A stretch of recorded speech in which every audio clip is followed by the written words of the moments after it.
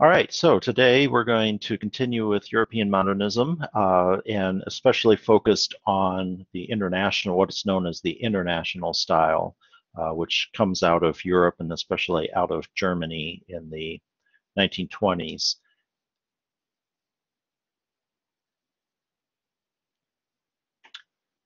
So the origins, uh, there's there's a number of origins and principles that are involved that are going to be key for you to uh, remember and be aware of. Um, the modernist movement uh, really uh, comes out of the end of World War One.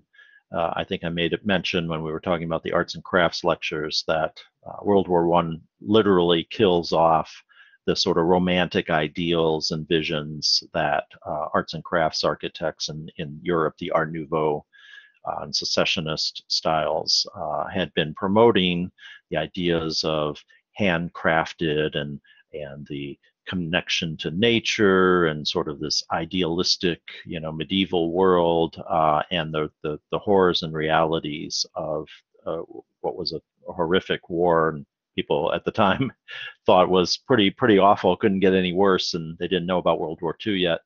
Uh, it, it, really sort of ended that romantic, some of those romantic notions. And uh, it actually goes and, and uh, ironically comes out of this horror uh, an embrace of the Industrial Revolution. As if if the arts and crafts architects and followers had rejected, or at least in part rejected, the, the notion of machine made goods and factories and technologies, modern technologies, or they wanted to limit that in architecture and art. Uh, the, the, the early modernists fully embraced it. And even, I think it was Le Corbusier who says that architecture should be a machine for living and that modern technologies and construction and factory production would be a, a good thing for architecture and would create um, an architecture that would benefit society. Uh, and I'll, I think I'll try to make that pretty clear in, in some of those ways they were thinking, both in today's lecture as well as we progress, because it's it's an idea that lasts well after even World War II into the uh, really into the 1960s. And so these international style modernist architects, they embrace the modern materials and construction techniques as we will see. And they also embrace the idea of what's known as the zeitgeist. And this is uh, the idea that an architecture should be of its time and place, uh, that, that it should not be a throwback to an earlier uh, era, you know, the if the arts and crafts architects romanticized the medieval architecture and modeled at least some of their architecture on medieval architecture, or, or other architects maybe embrace neoclassicism or something.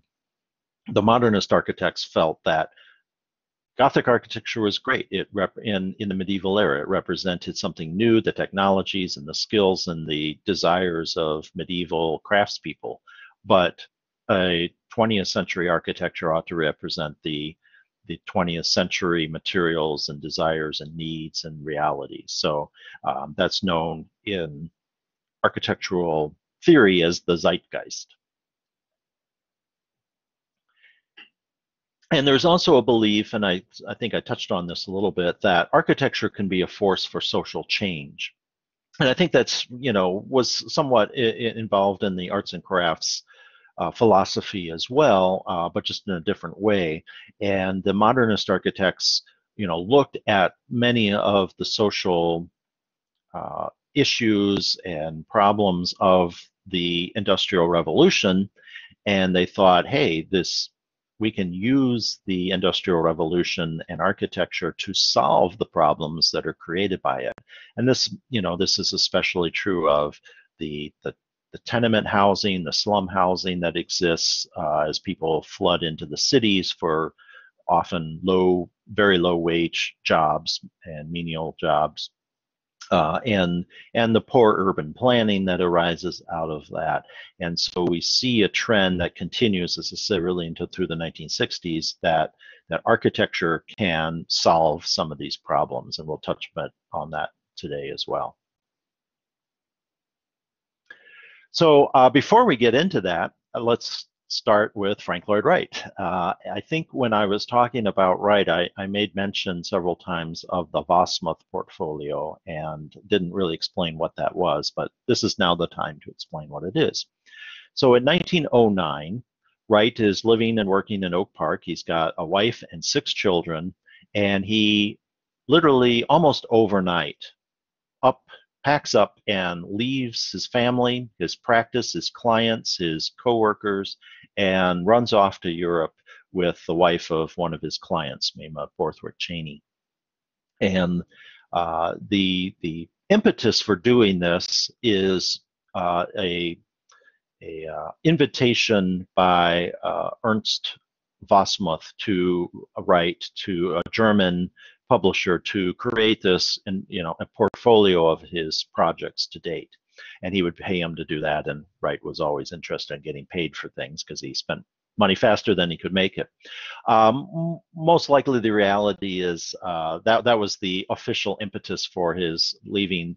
Uh, more likely he was uh, having i guess you could call it a midlife crisis and was maybe a little bored with what he was doing and felt maybe a little confined by family and work and uh, various pressures.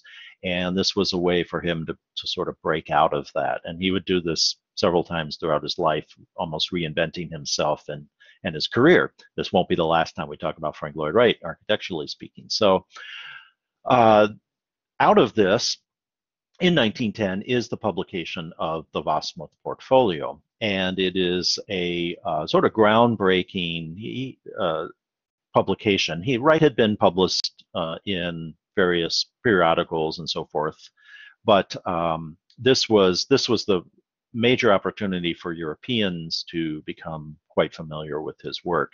Uh, and this is actually a print uh, rendering from uh, the portfolio of the Cheney house. So it is Mrs. Cheney that who she herself has two children and, and of course a husband, and she and Wright have an affair. They'd been having the affair probably since he was designing uh, her their house.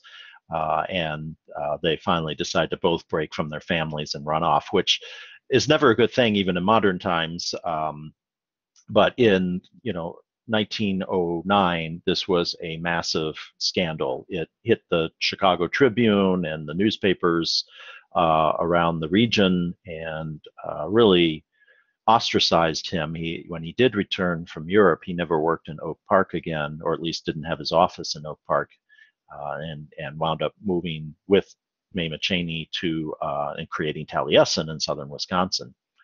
Um, and how how many people you can click uh, in your chat or something? How many people have been to Taliesin and and seen that outside of Spring Green? It's a it's really an amazing place for those who have not been there.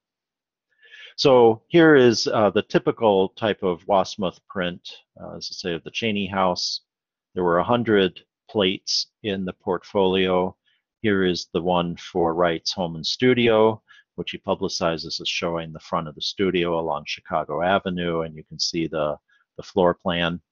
Uh, and this really, um, you know, shows his work very clearly. The the floor plans, the renderings.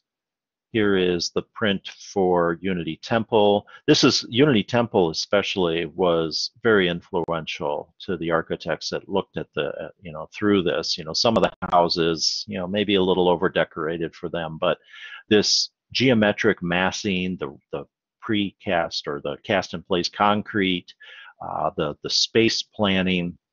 This really fascinated them, and they they took to this. And I think in the last lecture, uh, Marcello pointed out that he he saw some visual similarities between the Viennese Secessionist Hall and Unity Temple, and just that raw geometric massing and the sort of simplification of ornament and decoration that uh, is on display here. And another uh, print was that was very influential was the Mrs. Gale House from 1909 here in Oak Park, uh, which we would have seen on our walking tour if we had been able to do that. Uh, here is a rendering of it, and this is the photograph of it as it looks today. And there's a lot of similarities in a way to uh, Unity Temple. It, this is plaster uh, or stucco coated frame rather than concrete, but it looks you know, uh, a monolithic like a concrete structure would with just a little bit of wood trim around the perimeter. And these uh, projecting balconies and the projecting roof line in front, uh, creating these strong geometric masses, really influenced European architects. And then uh, the, the if, if the solid stucco masses are, are solids, the voids are these ribbon windows, these bands of, of art glass windows and, and doors that Wright uses to open up visually and and literally with doors uh, to between the, the, the, barrier between the house and nature and to create uh, a more of a unity between man and nature that he strived for. And so we're going to see a lot of these principles carry over into early modernist architecture. Here's the print for the Heurtley House, also in Oak Park. And if you remember, this uh, Heurtley House has these horizontal bands of masonry, including uh, sort of a darker red and almost an orange colored brick. And I point a couple of these out to show you one example of an early modernist project. This is from 1927 in Potsdam, just outside of Berlin. Uh, the architect is Erich Mendelsohn uh, the Dr. Bejach House. And Mendelsohn uh, would be a prominent modernist architect uh, and with a ver variety of projects. We're not going to talk too much about him, but uh, this this house in particular has very very strong connections. You can really see the the influence that Wright and and his Wasmuth portfolio had on on early modernist architecture. They'll begin to break out of that uh, and away from Wright and create something more unique and, and uh, individual. But uh, these early, some of these early projects have very strong connections to Frank Lloyd Wright. So here we see in this historic photograph those horizontal bands of brick masonry, much like the Heurtley House had. We see the sort of wide overhanging eaves uh, that uh, like the Gale House has, and we see the the, the garden walls stretching out away from the house and creating this anchor to nature the way that Wright would do, like at the Heurtley house with the wide garden walls there. And I was uh, fortunate to visit the house about 10 years ago and talk with the owner, who's a prominent preservation architect, and got a few images. So here you see how it looks, and you see those horizontal bands of brick and the wide overhanging eaves. In this case, he's using a, uh, uses a flat roof, um, much like the Gale House. And we see, uh, especially here at the top, this band of, of windows. Now, uh, it doesn't use the art glass windows the way Wright does, but we see this band of windows that you know creates this or breaks down that barrier between man and nature and a few more details of the exterior of the house, some of the garden walls up at the top right, and, and a detail of the brick masonry on the left. And then that's uh, that's Mr. Pitts, the the architect, and he just a funny story. Uh, that's his daughter who was uh, in college at the time, and uh, he didn't speak any German, or excuse me, he didn't speak any English, and I really don't speak any German. So his daughter, who had just come back from uh, uh, an English immersion in in London or in Cambridge, uh, was our interpreter. And uh, what was funny is that uh, that as he would talk and mention architectural things, I, I kind of caught on and and mostly knew what he was talking about even before she, uh, I think her name was Helena, even before Helena could explain as best she could because some of the architectural technical terms she was struggling with. So uh, even though we spoke two totally different languages, we both we both spoke uh, architecture, and and I was able to get most of the gist of it. Uh, so it was kind of a fun day, and he served me lunch. It was very nice, uh, nice thing. So here's another project in Berlin. This is a housing complex designed by Bruno Taut, also a very prominent early modernist architect. Uh, this dates from uh, the mid 1920s, finished in stages uh, by 1930. And we see again, this is more of an apartment block, but we see the similar kinds of influence uh, carrying over from Wright, some horizontal bands of masonry, uh, not not quite emphasizing all horizontality the way Frank Lloyd Wright would do. We're already starting to see a breakout into a more international style of architecture here, but there is some carryover with those horizontal bands and the overhangs of the the roofs at the at the balconies. A few details there. And uh, this also, housing projects are an early form of modernist architecture in Germany. Uh, there was there was definitely a housing crunch in the 1920s. Um, again, partly because of tenement housings and slums, uh, as as people flooded to the cities, um, both for the Industrial Revolution to get factory jobs and so forth, but also because of World War One and after the war, people came to the cities looking for better opportunities, and the the economy in Germany wasn't very good, so people were looking for anything they could. So these kinds of housing projects uh, were starting to be built as ways to provide this, you know, social need for people. And we'll see an example at the end of our lecture today of uh, a major international style one. So the first architect I really want to talk about in uh, detail is uh, Peter Behrens. And Behrens, uh, we can kind of consider to be the, the father or grandfather of German modernism and, and the international style. Uh, he founds, uh, in the teens, he founds uh, a, a, group called the Deutscher Werkbund, uh, which translates as German Workshop. And this was a design school that, uh, organization really, that promoted good modern design. And it was based on the Wiener Werkstatt that Josef Hoffmann had created in Vienna with the secessionists. And it, it's less of a school and it's really more like minded professionals who uh, sort of work together. They they trade information, share information. Maybe they say, "Hey, I've got a client. You can, you know, I can uh, you can help me out with this particular project and that sort of thing. And uh, the Deutsche Werkbund initially was an embrace, like the Via, like the Wiener Werkstatt, was an embrace of the arts and crafts movement as it existed in Germany. But as I said, World War One essentially ends the, the arts and crafts movement, and Behrens and the people who were following him began to drift into more of a uh, international style of modernist architecture.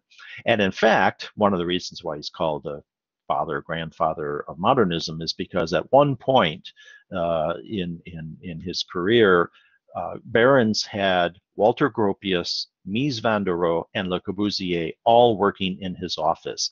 Um, possibly all three at the very same time, certainly two of them uh, working together uh, at the same time in the office. And even Mies van der Rohe um, uh, in in a in a statement or or reminisce or something like that talked about uh, Behrens had a copy of the Wasmuth portfolio in his office, and they would, you know, the the people in the office would sometimes just sort of filter through the portfolio, looking at the drawings and sort of absorbing the ideas that Wright was doing. And and he was always clear that they, they didn't want to copy what Wright had done. They uh, but they were very influenced by his ideas of space and massing and geometry, and ultimately would create a modernist movement out of, in part, out of the ideas that Wright had put forth in the Wasmuth portfolio.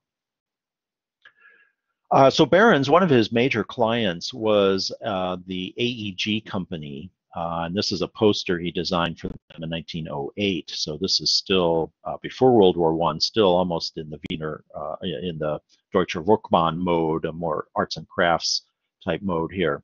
And the AEG was the German equivalent of uh, General Electric. They were the big power company.